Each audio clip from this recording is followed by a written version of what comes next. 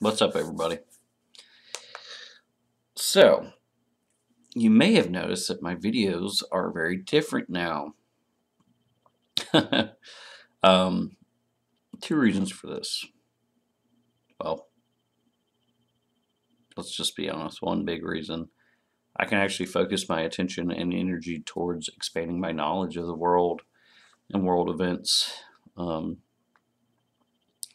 primarily. But I'd still like to keep them focused somewhat around narcissism because I see just too many correlations. You know, at this point, the uh, the red pill has been swallowed, digested, and shat out already. Um, but once you take it, there's no changing it. You know, there's no going back. So I like to kind of discuss now really just worldviews and how I see narcissism correlate with it, and it's very, very creepy. Um, so there was a, a, famous quote. I won't tell you by whom because then you're going to get your panties in a bunch and get sand up your vagina and all that bullshit and, and be pissed off. But it says that, paraphrased, of course, I don't remember the exact quote, a bastardized culture is an easy to control culture or a controllable culture. Now let's start to think about this with old America. A bastardized culture. We've had this discussion before where America really doesn't even have a culture. We've had cultural spurts, but we've never had a solid American culture in the way that, you know, um, European countries with a lot of history have had, or, or you know, other Japanese, Chinese, they, they have a solid cultural basis. America's never really had that. Um, and I have to say the one thing that America did have going for it was, you know, strong family um, ties, strong family, you know, um, dynamics per se. And then that all changed. Changed into what I would call basically the lost generation. I've called our generation a lot of shit, the Saved by the Bell generation, because we're all, you know, essentially the Saved by the Bell generation idea was that our, our my generation and generation younger me was raised on this escapism TV where everything's gonna be all right. You know, everything's gonna work out, but that's not really how the world works now, is it?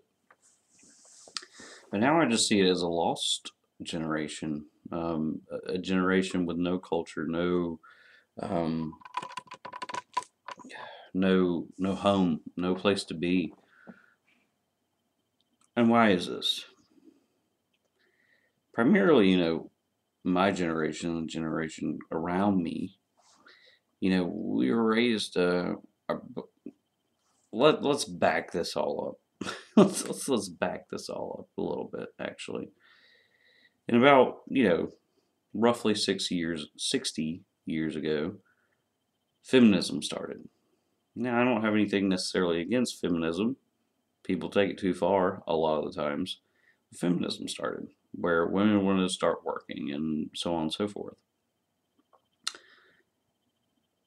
And it is my view, agree or disagree, that the start of feminism bastardized a lot of our family dynamics. You know, rather than than the the the the husband going to work and being the primary breadwinner, you know, women started to work as well, which is fine. You know, women working, hey, all for it. But what happened to the family dynamic? Now you have kids that are left alone all day with no guidance, no substance, no no rhyme or rhythm. They're not taught their ancient cult ain't not to say ancient, but sometimes ancient ancient cultures are their their their purpose in the world, where they came from, what they're about. They're not taught the fa- the family dynamics. They're not taught, you know, what is right, what is wrong. these kids are being raised, you know, in preschools and daycares and just school in general. And then after hours, these kids are being raised by TV and internet. They're not being raised by an actually family, an actual family unit.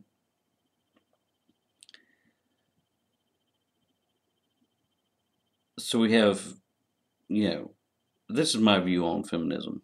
Sure, you want to work, fucking great.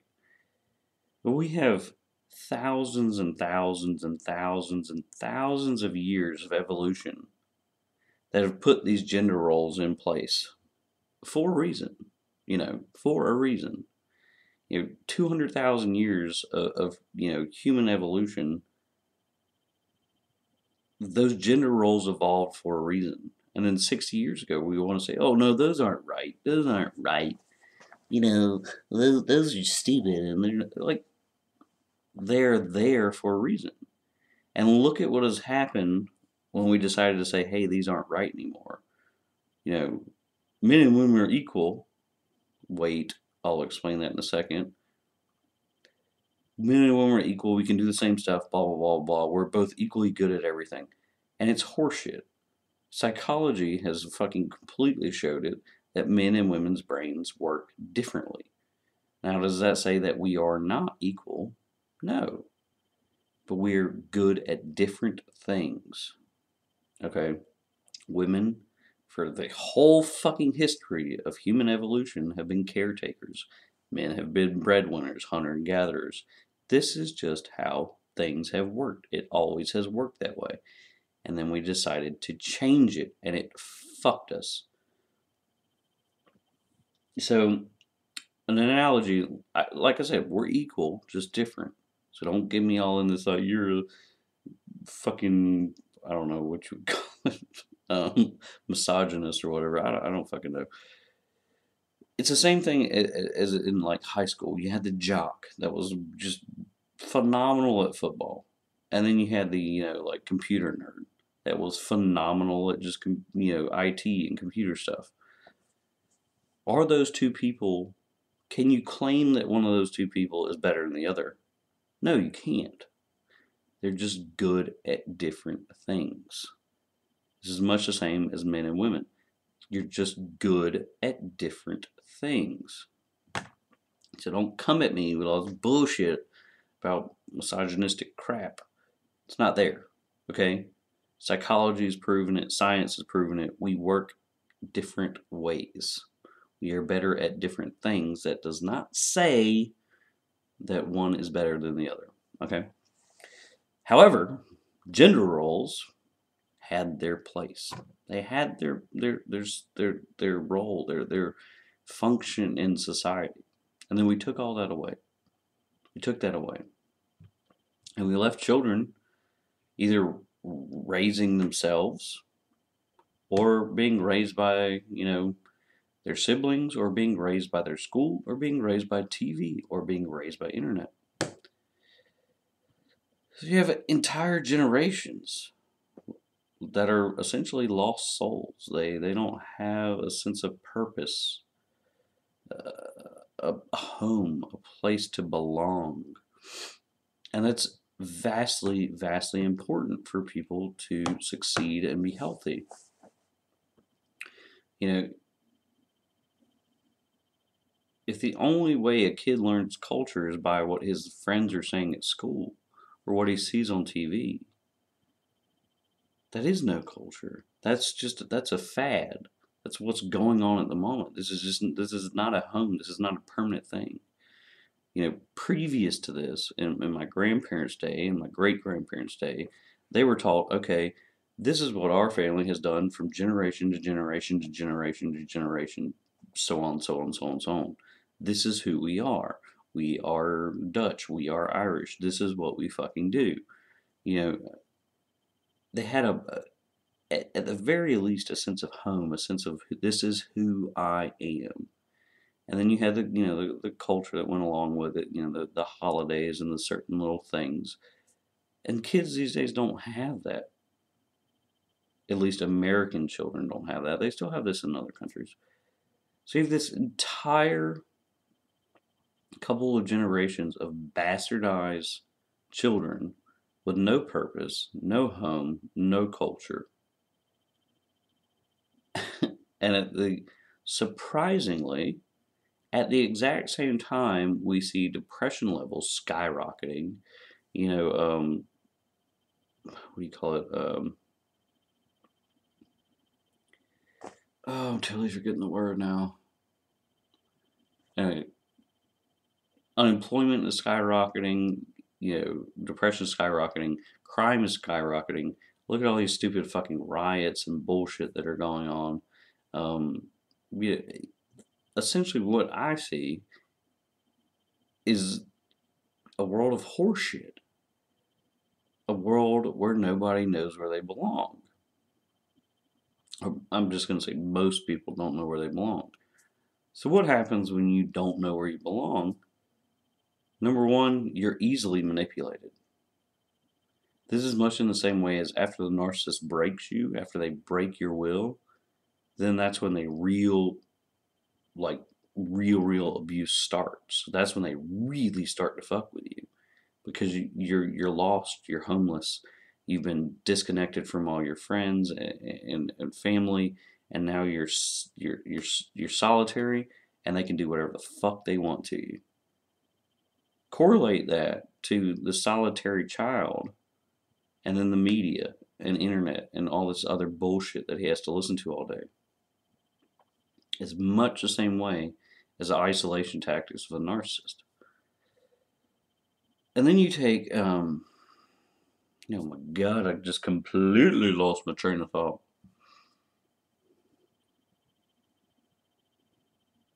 Give me a second. I will remember.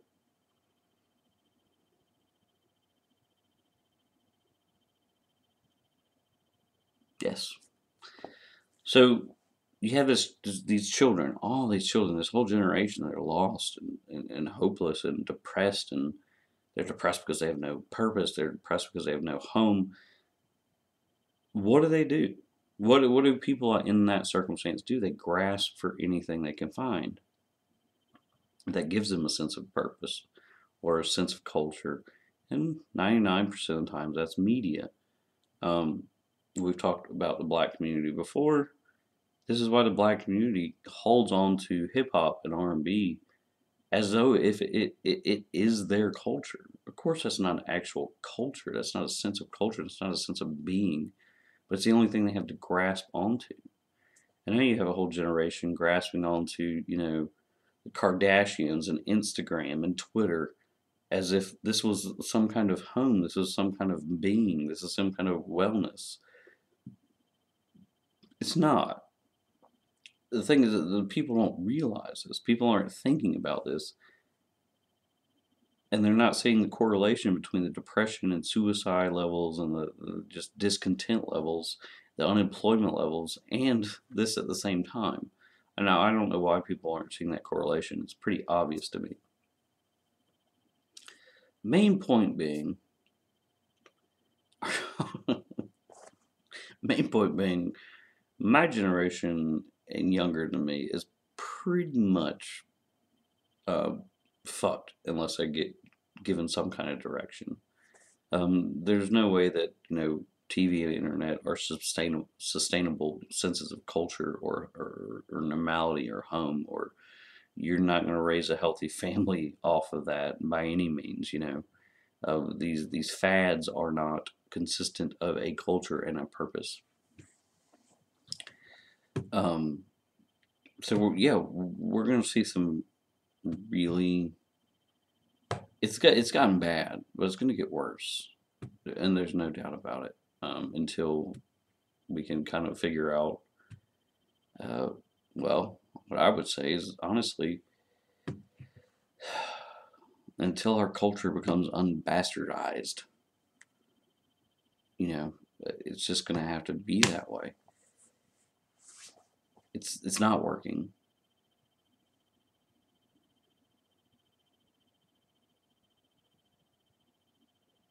I just heard some really weird noises outside. Um, it's not working. that kind of scared me when my hand came up. I was like, what the fuck was that? It's not working. We all can see that now. So when are we going to do something about it, right? And unfortunately, this all started, in my mind, this all started with with the like the '60s with the feminism movement, and the the the whole want to say that gender roles are are not.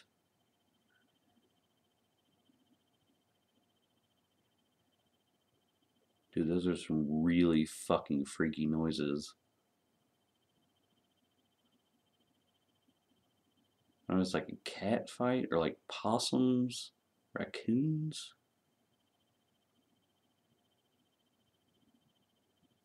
What the fuck? Okay, I'm gonna sleep good tonight. Any, all right. So gender had their purpose. Okay, they did. That was another. You know, gender had their purpose in culture, and they had their purpose in a place to be. You know, even if somebody was raised, uh, you know, as a bastard child, and and and from multicultural, you know, instances and so on and so forth, it's still gender roles applying still gave them a sense of purpose. I am a man. I can do this. I am a woman. I do this. You always had a sense of a role and a purpose and a place to be.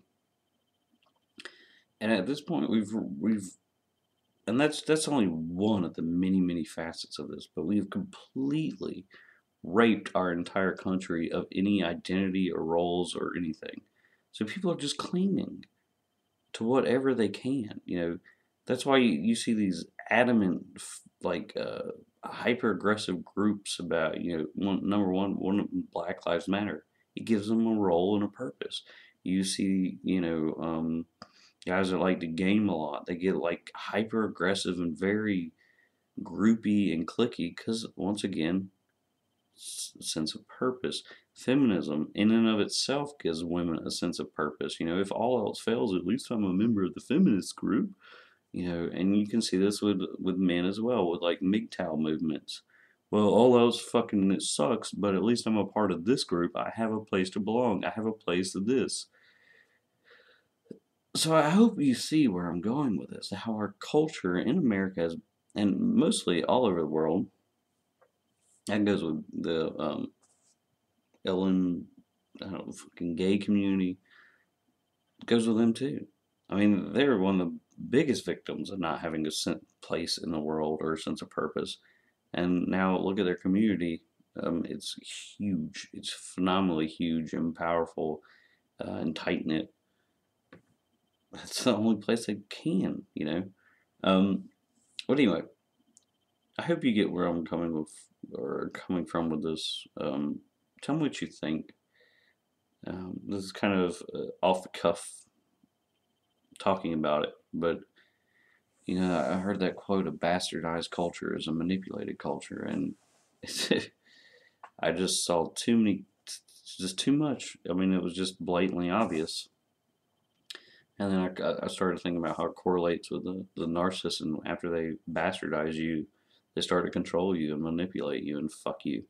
Um, and, and it's just too fucking creepily similar. You know, um, you know, these kids are growing up on this media. Imagine if this media has an agenda.